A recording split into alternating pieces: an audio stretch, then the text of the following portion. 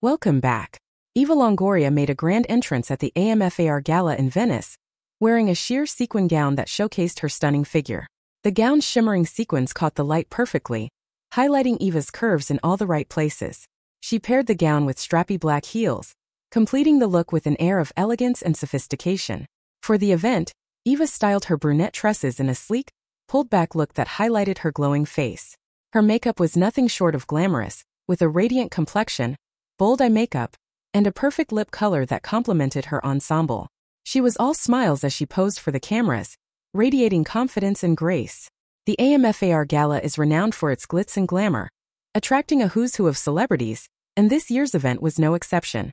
With stars from across the globe in attendance, Eva Longoria's appearance was a standout moment of the evening. It's always exciting to see such high fashion and charitable efforts come together in one spectacular event. Make sure to hit that like button, subscribe, and ring the notification bell to stay updated on all the latest fashion and celebrity news.